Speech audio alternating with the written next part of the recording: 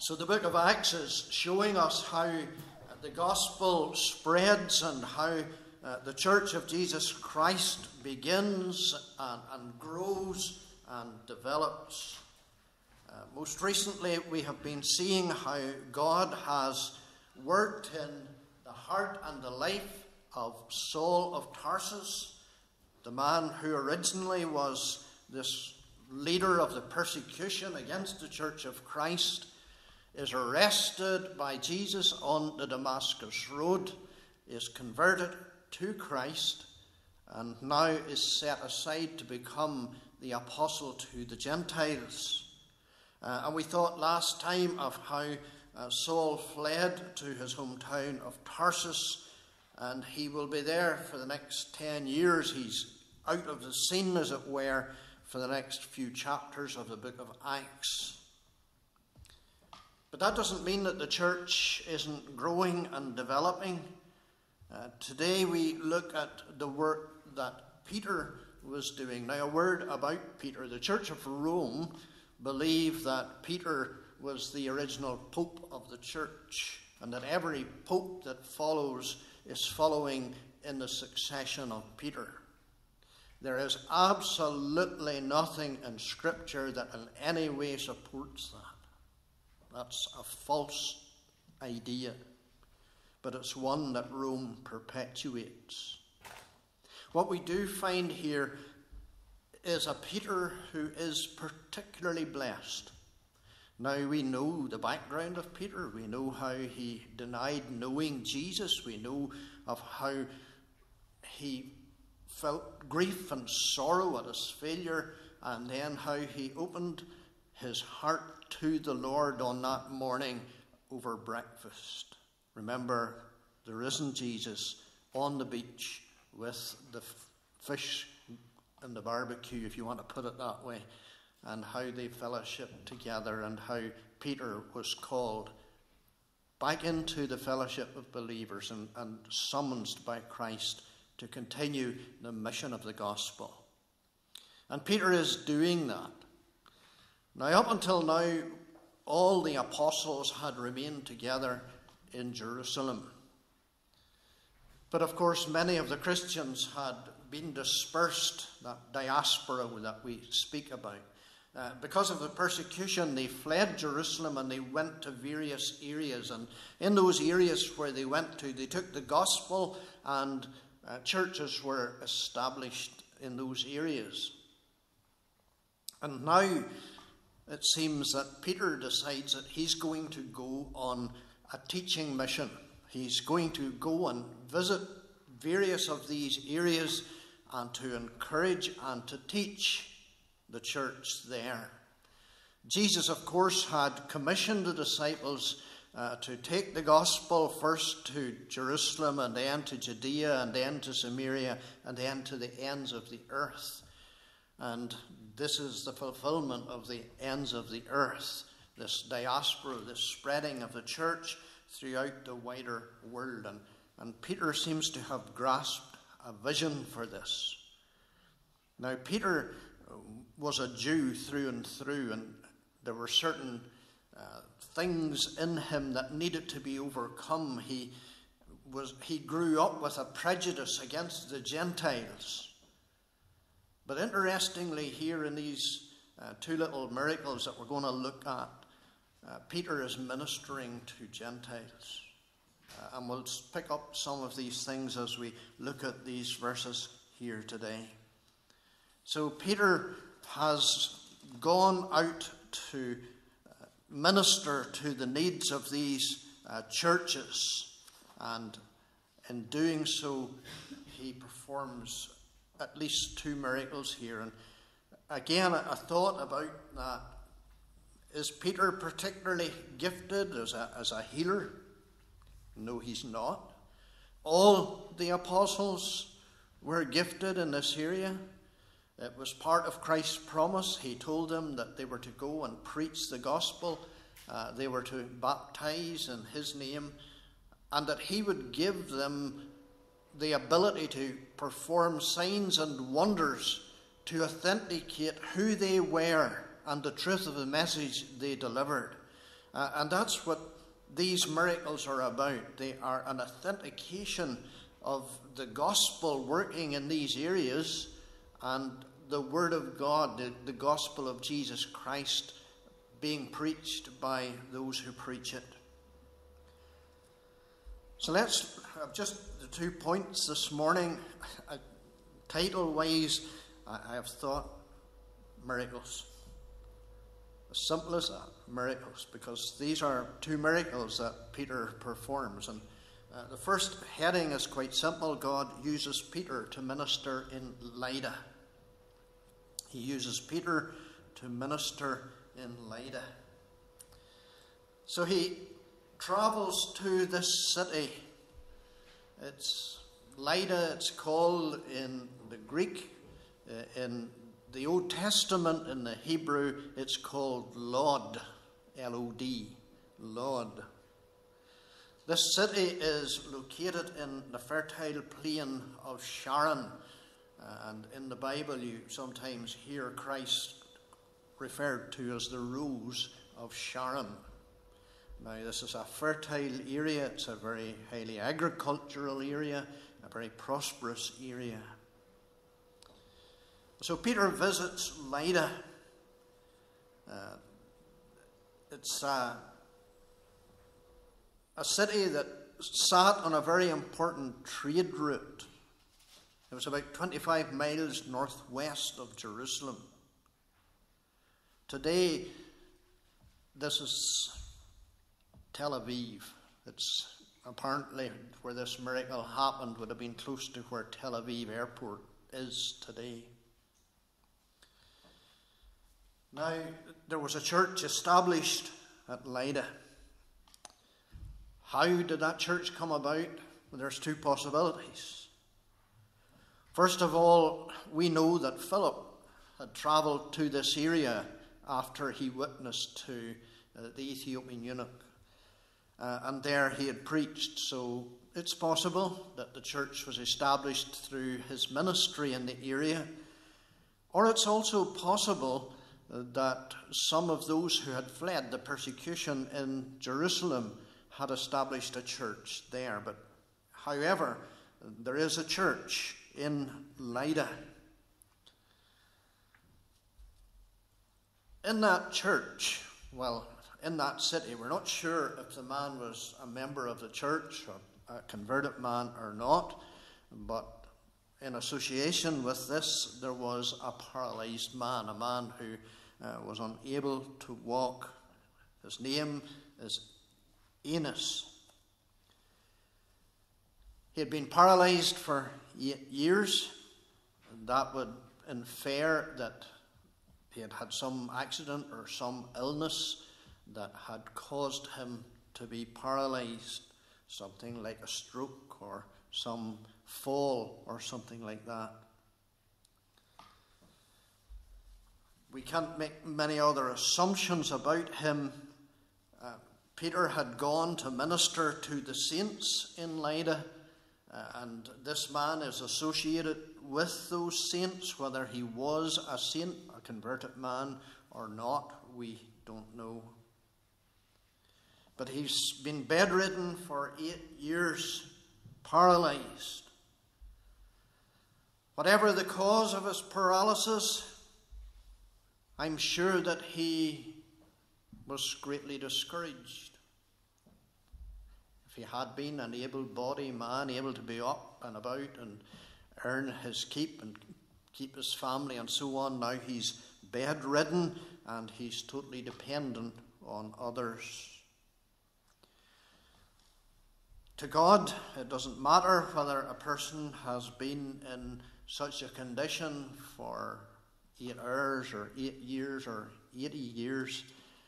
God has the power to turn that life around, to take that person out of their miserable condition and to give them a new life. And so Peter comes to Aeneas and he says to Aeneas, Jesus Christ heals you. Jesus, meaning the Saviour, Christ, meaning Messiah, heals you. Arise and make your bed. And obediently he did. Sounds like a bit strange command, arise and make your bed, and immediately he did. I'm sure, mums, you wished that your children would do that immediately. You tell them to make their beds, they would make their beds. Now, the situation here, this making of the bed, uh, you need to understand something of living conditions in those days. They didn't have bedrooms as such in the house. The, the beds would have been laid down on the floor at night, uh, probably straw mattresses at the best, and the family lay on those, and in the morning, those would all be made up, laid aside into the corner or wherever, so that the rest of the area would be available for daily living. But this man hadn't done that for eight years. He was constantly lying there in the middle of that living area. What a miserable life he must have had. And now, for the first time in all those years, he could get up, he could take his bed and pile it with the rest in the corner. And it's seeing that, that this transformation from him lying there constantly in the way of everything all day, he's now able to get up, stack his bed with everybody else's, and free up the whole living area for its normal use. What a change this would have been, not only for the man himself, but for the whole family. The blessing that this must have been to them is beyond our comprehension as we don't live in such conditions. Here, grace of God is poured out on this man and on his family, and this healing takes place. It's an amazing miracle. And the news of this miracle spreads throughout the area. Verse 35 tells us that all in Lydda and Sharon saw this man and turned to the Lord. So the news spreads, and uh, you know, they'd obviously known about the man. If we find it in our own communities, if someone has a very serious accident, they're paralyzed, everybody knows about it. And you can imagine that if one day suddenly, miraculously, that man is healed, then the news of that will spread about as well. How did that happen? And then it is told that Peter was uh, there, that he prayed for him, and that the man was healed by the power of the Lord Jesus Christ. And the people hear this and they are amazed, and many of them come and put their faith and their trust in the Lord. You can see how the miracle authenticates the gospel that is being preached. It shows the power of Christ to change lives. They turned to the Lord. And you know, folks, that's what is needed in our own land today. We need people to turn to the Lord. No matter what uh, program we see in television or what news you listen to, we see the sinfulness of the society that we live in. And I don't know about you, I can only know about me. There are times when I am totally perplexed. And I realize that the power of God is needed, the grace of God to change lives to turn people away from the path of evil that they're following. They're paralyzed with sin. They cannot see their paralyzed condition. Only God can change that. And we should be praying for such a change. I've already said that we're not sure whether Aeneas was a believer or not, but it doesn't matter. It doesn't matter how long a person has struggled with some affliction, Jesus Christ can still set them free, even years down the line. He can deliver anyone from years of sin and corrupted flesh. Every one of us who knows the Lord have been crippled by sin. We have all had our sins and deficiencies dealt with by the power of Christ. That's what this world needs today, and we pray that soon the Lord would pour out his blessing in this way. God's grace to heal and restore people. God spread the gospel in Lydda. Peter performed this miracle that gave authentication to that gospel that was going around. This man was healed, many saw it and they believed and accepted Christ. That grace of God touches men and women. It touches boys and girls. It touches Jews and Gentiles. We would pray for such a touch for our society today. So God uses Peter to minister in Lydda. But then, secondly, God uses Peter to minister in Joppa. Now, there's a place, Joppa. Who do you immediately think of when you think of Joppa? Hi, Jonah. He's a guy. Remember how he went down to Joppa to find a ship that would take him in the opposite direction to Nineveh. But of course, God had other ideas, and although Jonah was able to board the ship, uh, God sent the storm. Jonah was cast into the sea, swallowed by uh, the fish, and brought back. He was vomited up on the shore and had to go and serve God in Nineveh. Do you know where Joppa is or what it's known as today? Jaffa. That's the modern day name for what was known as Joppa. Jaffa, Jaffa oranges. Not far away from Joppa, there was a certain godly woman named Tabitha. Tabitha was her Aramaic name. The Greek equivalent is Dorcas. They both mean gazelle. So if you're called Tabitha or Dorcas, you're actually a gazelle. So you should be winning all the races. Now, here, according to verse 36, Tabitha was known as a woman who did good things for her neighbours and fellow believers. She had to be a rich person. She had the means to help people in many ways. She would have made garments for them and other things. Uh, that cost money, even though she was gifted and talented in herself.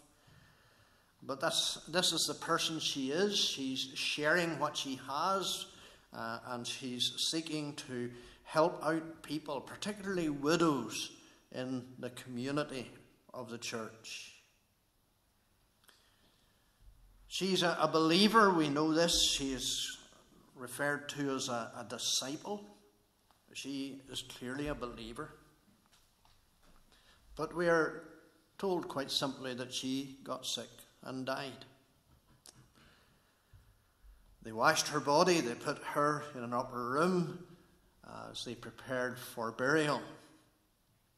In that culture, and still to this day, it's the same procedure.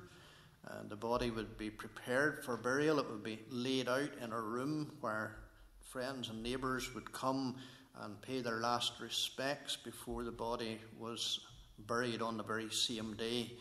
Obviously, the warm climate that they have didn't permit for a body lying uh, too long. So, this Tabitha, her body was washed and, and laid out for that opportunity for friends to come and to pay their respects. We learn that news of Peter's miracle in Lydda has come to Joppa. And so when the believers hear it, uh, they send messengers uh, to Peter asking him to come. Now, there's no specific command or desire made here. There's no request of Peter other than that he come. It doesn't say come and raise her from the dead. I don't know what the people expected of Peter, but they wanted him to be there. And so they send these messengers. Uh, the journey would have been 12 miles, which would have taken about three hours on foot. According to verse 39, the moment that he arrived, they took him to the home where Tabitha's body was laid out in the upper room. And there in that upper room, there was a large gathering of widows who all had benefited from Tabitha's charity. They were there with various examples of the clothes that she had provided for them, many of those garments made by her own hands. And she, they showed these things uh, to Peter. She made these. And that verb make is in the imperfect tense. And that means that she was doing this continually right up to the time of her death. She was occupied in providing for others. It was how she spent her life. These ladies had experienced and enjoyed Tabitha's charity, and they were obviously grief stricken at her loss. Now, Peter would have saw not only the material fruit of her ministry, but also noted the great impact that Tabitha had had on these ladies. The early church did its best. We, we saw this earlier on in Jerusalem, where there was a dispute because some widows seemed to be getting better treatment than others. Uh, the church did what it could to help, but Tabitha seems to have gone over and above what the church was doing and has had her own particular ministry to the widows. that's a tremendous testimony to her. These widows had been so touched by what she had done that they wanted her back. They didn't want to lose her. Now, think about that. These are all widows. They have lost their husbands. But they're not asking for their husbands back, they're asking for Tabitha. Now, raising people from the dead is not your normal thing for even the apostles to be doing. Peter, Peter didn't walk around raising the dead. He didn't come there, I'm sure, even with that thought in his mind. It wasn't something that Jesus did a lot. He did it on several occasions, but not every day. But here, the context is this woman was loved by so many. She had been so generous and so helpful. She had had such a powerful ministry that Peter desired that God restore her to them. Can you imagine him doing that for some stingy, cantankerous person who was difficult to live with? But here, the pleading of others receives his sympathy. Now, there are three specific actions that Peter performs here. Firstly, he puts everybody out of the room. Now, this is something that he had saw Jesus do himself. That verb, sent them out, is the same verb that was used when Jesus raised Jairus' daughter from the dead. He sent them all out of the room. And now Peter does that. He puts out the messengers who had brought him, he puts out the widows who were mourning her loss, and obviously also the family. There's only himself left alone with God in the room. And so next, Peter kneels down and prays. He knows that he has no power to raise this woman to life. He's completely, utterly dependent upon God to do this. Only God has that power. The Bible makes it very clear that God is the one who gives life. He alone is the one who has the right to take that life away. And he has chosen to take away Tabitha's life. But Peter is praying he would reverse that decision. Next, Peter turns to the dead body and he says, Tabitha, arise. He uses her Aramaic name rather than her Greek name, Dorcas. And if you think about it, the language he uses is very similar to the command that Jesus gave to Jairus' daughter. What did he say to her on that occasion? Talitha, arise. Talitha, the name that Kenny and Charlene gave to their little girl. And this other is called Tabitha. Talitha, which means an Aramaic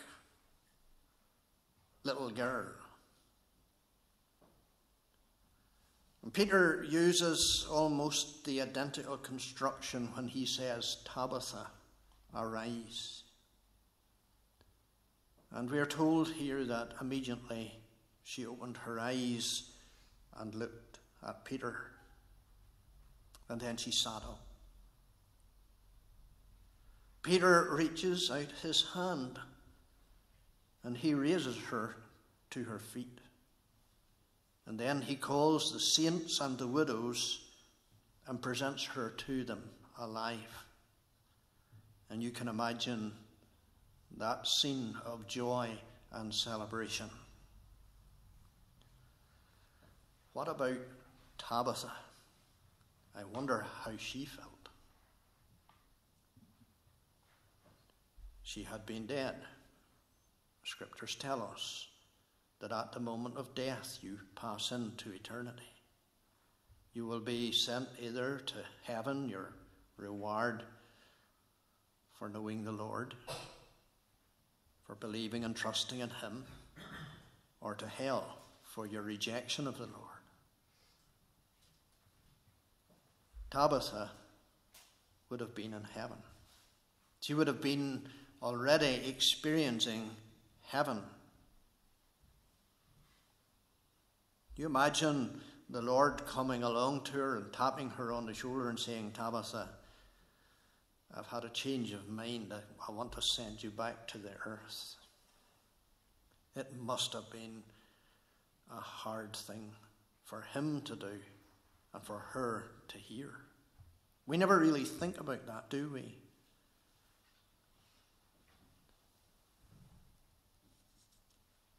Maybe she said to him, Why me? Is there not somebody else you can send? But whatever communication took place, we don't know. Uh, she was submissive to the Lord, and the Lord sends her back. And another day she would die again. According to verse 42, this story became known all over Joppa. And again, many believed on the Lord because of what they heard. This is the reason she was sent back. Her return reaped an eternal reward for others. She was robbed of her immediate access to her eternal glorified body. But how many others received hope of their eternally glorified bodies because of her sacrifice and commitment? Now we learn something here about the grace of God. Both of these miracles illustrate to us the power of God in being able to transform people and develop people for the glory of His name. In both these cases, there wasn't one thing either person could do to deliver themselves. What they received was solely by the grace of God. The paralyzed man was restored to good health and physical fitness. Tabitha was given back to the church to continue her charity. And all of this was by the grace of God. It is the grace of God that transforms lives, that develops each one of us day by day. On the moment we receive Christ as our Saviour, we are not made perfect immediately. But every single day, God is constantly pouring out His grace upon us. And every day, He's shaving off another little bit of the old nature, helping us to become more and more the people He wants us to be. And that applies here even to Peter. Now, I've already said that Peter was a Jew through and through, that he grew up with uh, an attitude against the Gentiles. But here we find that Peter goes to dwell in the house of one Simon the tanner. You know what a tanner is, of course, he's the man that takes the carcass of the dead animal and strips its hide and makes it into leather. A tanner was considered to be the most unclean of all people by the rabbis. Because of that very fact, that day and daily he worked with dead animals. Now, Peter met Simon the tanner, a man who loved the Lord. And this marks a turning point in Peter and his bigoted attitude towards the Gentiles. Here he has been brought into contact not only with a Gentile, but one who is a tanner. And he swallows his, his prejudice and he goes to stay in the very house of Simon the tanner. We'll hear more about him later on. So we see God here at work. He's beginning to develop his church. It's now spreading into the regions of the Gentiles. Gentiles are being accepted into the church. Uh, the ministry of the apostles is being authenticated through the work of miracles and signs and wonders, and the church is growing. Not without opposition, we have saw that already. And the wonderful thing is that the Lord says this is the way it will continue until the day I return. So, in this day in which we live, we, we look around, we see so much negativity with regard to the church. We see our numbers dwindle, we see the interest in the things of Christ um, wane, and well, we can get discouraged. But remember the promise the gates of hell will not prevail against my church. And they won't. And even though there are times when the church may go to, into decline in one area, you can be assured that in another area Thousands are being added to the kingdom of God in places like India, for example. So let us put our trust in God to keep on fulfilling His promises. Let's pray. Heavenly Father, we thank you today that you are a God who keeps His promises. Uh, you are one whom we can trust. And even though, Lord, in our society today we see a turning away, we see a dwindling of the church, we see people within the church who take uh, the truth of the gospel and they twist it to suit other things. Lord, just give us confidence to know that you're still in control, that you are still building your church, and that we are indeed wonderfully blessed to be part of that.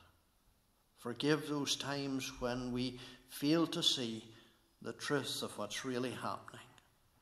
And we pray these things in Jesus' name. Amen.